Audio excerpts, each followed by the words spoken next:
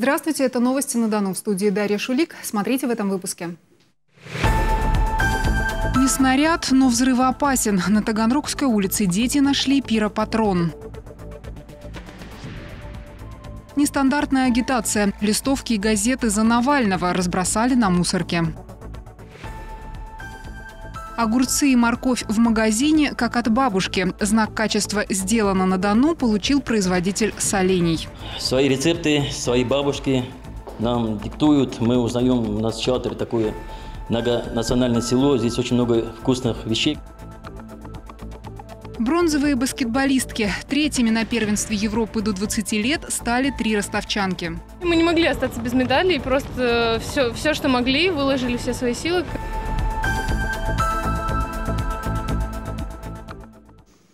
Горку смерти на Можайской улице Ростова убрали. Администрация Первомайского района настояла на демонтаже опасной детской площадки.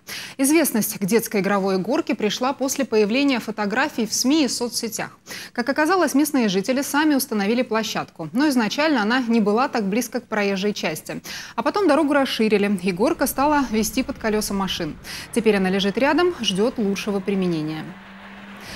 Сонный пиропатрон нашли дети на Таганрогской улице. Сначала приняли его за боеприпасы, рассказали взрослым, а те сообщили в полицию. На место выехали специалисты инженерно-технической группы Росгвардии и установили найденный снаряд инфракрасный авиационный патрон Л-221. Такие устройства с пороховым зарядом применяются для приведения, приведения в действие технических устройств. Например, кресло летчика при катапультировании или отстреле, отстрела тормозного парашюта. Устройство взрывоопасно, поэтому росгвардейцы полиции передали его саперам. Сомнительный по эффективности агитационный ход заметили ростовчане в Советском районе города. Листовки и газеты, призывающие выбирать Алексея Навального, ищут своего избирателя на мусорке. Агитматериалы целыми пачками выбросили в контейнер с отходами, а ветер попытался поддержать агиткомпанию и, насколько мог, разнес листы по окрестностям. Заметим, что ранее штаб Навального призывал волонтеров распечатывать листовки дома на принтере и распространять по городу. Можно предположить, кто-то из распространителей разочаровал разочаровался в своем кандидате или просто поленился за него агитировать.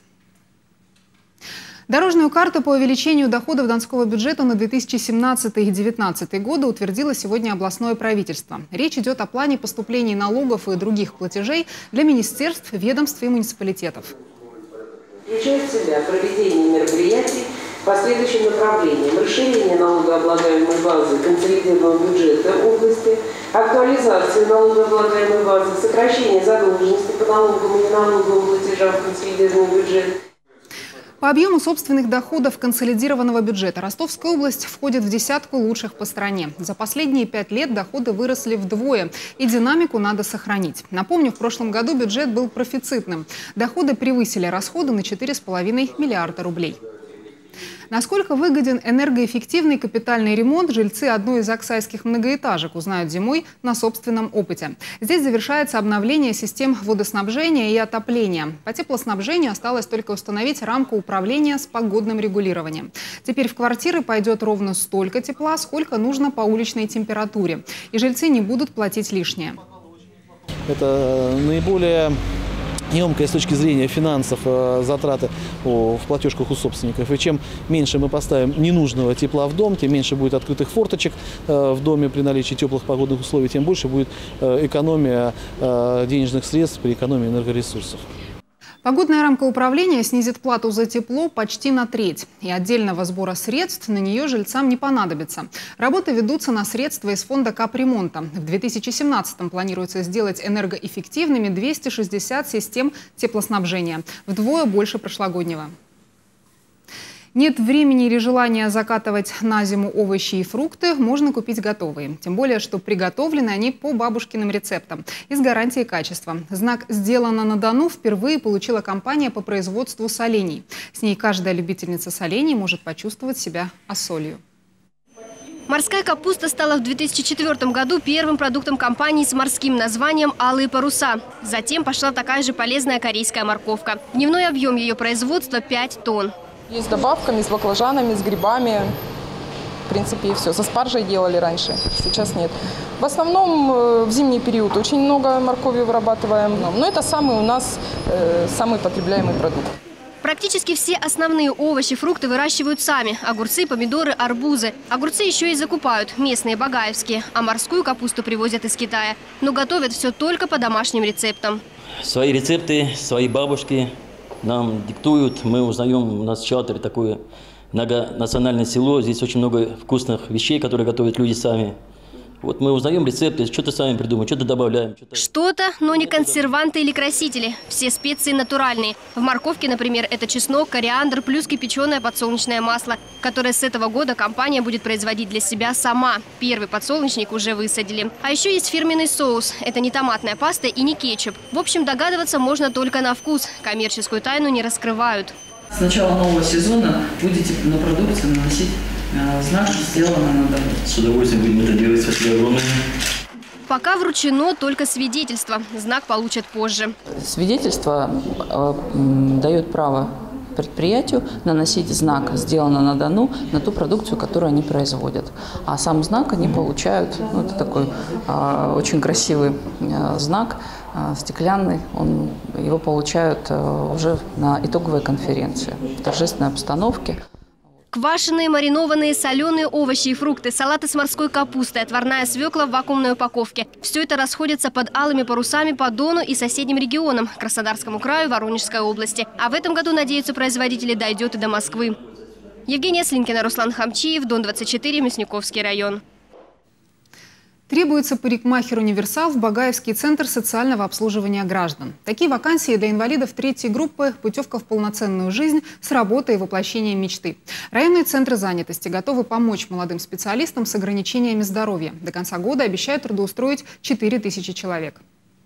Тип волос а, очень мягкий, а, нежный, можно сказать, а, и здоровые волосы. Теперь, выражаясь языком парикмахеров, Руслан Хасанов тушует волосы и моделирует популярную дамскую прическу середины прошлого века – шапочка. Навыки почти три года оттачивал в ростовском профучилище и очень доволен, что сменил профессию обувщика на парикмахера-универсала. В 2013 году, в 2013 году ездил а, в Турцию отдыхать, и там а, пошел а, в салон парикмахерских, и увиденное просто шокировало меня. Я, не знаю, после этого решил стать парикмахером. Шокировало в хорошем смысле. И теперь до конца лета Руслан будет работать в районном центре соцобслуживания населения граждан пожилого возраста. За две недели трудовой деятельности Руслана подопечный центр Виктор Дорофеев уже 15-й клиент. 77-летний мужчина отращивает бороду, и мода тут ни при чем. Годы. Режусь часто, поэтому плохо. Отпущу так чуть-чуть и пускай. Никакого, немножко где-то. Стричься не хотел, но парикмахеру говорил укоротить.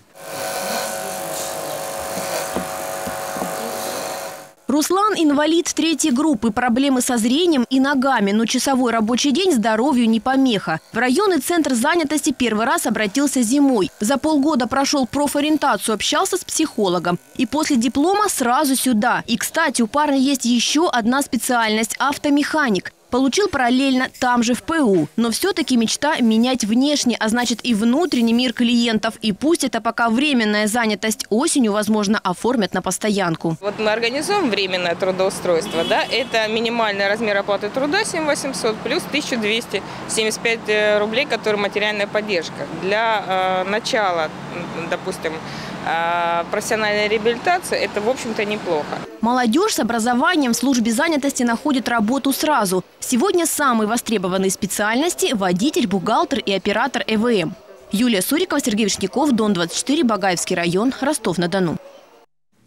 Девушки-баскетболистки, ставшие бронзовыми призерами первенства Европы до 20 лет, вернулись домой. В составе сборной России сыграли три воспитанницы донского баскетбола. Две из них сейчас выступают за Ростов-Дон-Юфу, а одна пошла на повышение с курской командой.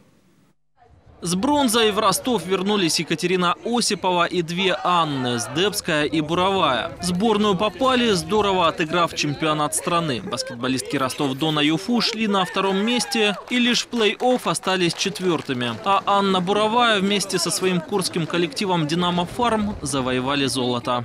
Для меня уже это не первая медаль, а третья медаль именно бронзовая на чемпионате Европы. Также было завоевано и первое место. Два года назад тоже в Португалии. А у донских «Пантер» это пока самый крупный успех на пути в главную сборную. Европейская бронза возместила недобор медали в российском чемпионате. Мы вдвоем вспомнили об этом и э, подумали, что мы не могли остаться без медали, и просто все, все, что могли, выложили все свои силы, которые на, ну, за все время, которое нам дали на площадке, и просто выиграли эти медали. Самым результативным для Сдебской и Осиповой стал матч против турчанок, в котором донские спортсменки набросали 13 очков. В своей группе D россиянки помимо Турции обыграли Сербию и Голландию. Для выхода в четвертьфинал разгромили Боснию и Герцеговину, а затем устояли в поединке с Бельгией. И лишь в полуфинале оступились, проиграв будущим чемпионкам испанкам. В матче за бронзу вопросов не было. Второй после Испании фаворит Франция была разбита 80-59. 9. Безумно рады, безумно устали. Но я думаю, что радость это переполняет все эмоции, всю усталость и все, все, весь этот нервоз, который вот этот вот с перелетами у нас. И сейчас отдохнем. Скоро снова в бой. В новый бой медалистки вступят 15 сентября в играх Кубка России. На групповом этапе ростовчанки встретятся со ставропольчанкой СКФУ, юностью из Пензы и землячками клубом «Шахты» из одноименного города. Лев Клинов, Дон-24, Ростов-на-Дону. Это все новости к этой минуте. Смотрите следующий выпуск в 18.30. Еще больше новостей на обновленном сайте don24.ru. В студии была Дарья Шулик. До встречи. Одежда ведущим предоставлена магазином модной женской одежды «Сержинетти».